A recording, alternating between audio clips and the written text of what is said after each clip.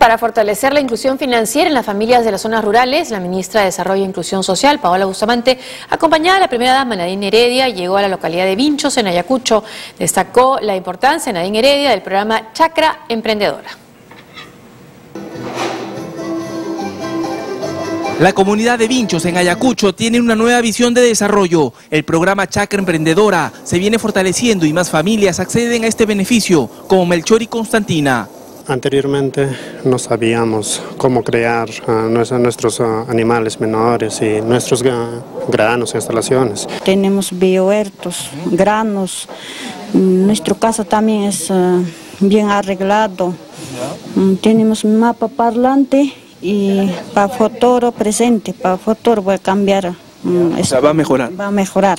Mi chacra emprendedora, Ojaku Wiñay, fortalece la producción familiar mediante el riego tecnificado por aspersión, abonos orgánicos y hortalizas a campo abierto, mejora de la vivienda saludable a través de una cocina mejorada, el manejo de residuos sólidos y distribución de espacio, un cambio de vida que los conlleva a impulsar el espíritu emprendedor. Nos aseguramos el consumo propio de, la familia, después eh, ya, ya, vemos eh, que hay un poco más de producción, ya decidimos para vender para nuestros ingresos propios.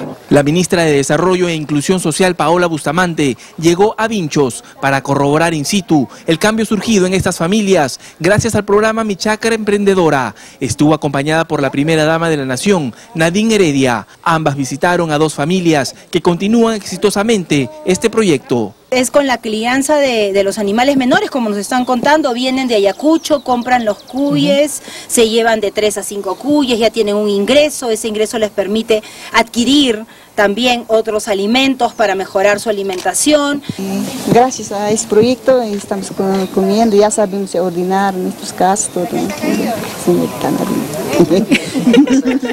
La primera dama destacó que esta iniciativa fortalece la autoestima de la mujer es impresionante el gran salto que dan en términos cualitativos, pero también en la autoestima de la mujer, porque muchos de estos programas están centrados en la mujer.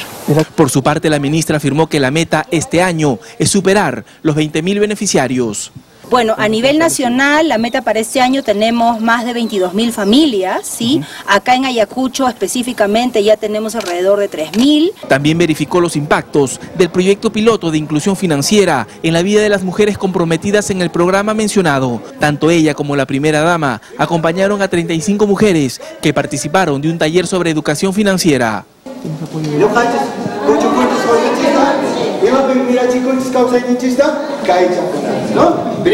No solo nos vamos a quedar eh, planteando con Haku Wiñay el tema de la imagen de mejora de vivienda y de, por ejemplo, técnicas de riego, sino también damos un salto y próximamente vamos a ir a continuación, porque esos recursos que les sirven, por ejemplo, cuando ellos venden los cuyes, estamos trabajando inclusión financiera.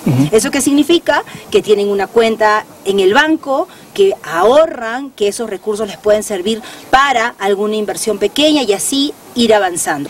El tema de la inclusión financiera es verdaderamente un paso hacia adelante, porque cuando ustedes comiencen a sentir los beneficios de lo que están aprendiendo el día de hoy, y han comenzado a hacerlo ya semanas atrás, entiendo, eh, ahorrando para negocios, para pequeñas inversiones, van a ver que sus familias van a progresar con ustedes. Cabe mencionar que el piloto de inclusión financiera se enmarca en el cuarto eje de la Estrategia Nacional Incluir para Crecer, relacionado con la inclusión económica. Desde el preciso momento en que nuestras mujeres comienzan a hacer transacciones, pequeñas transacciones financieras, para ellas ya es un gran paso.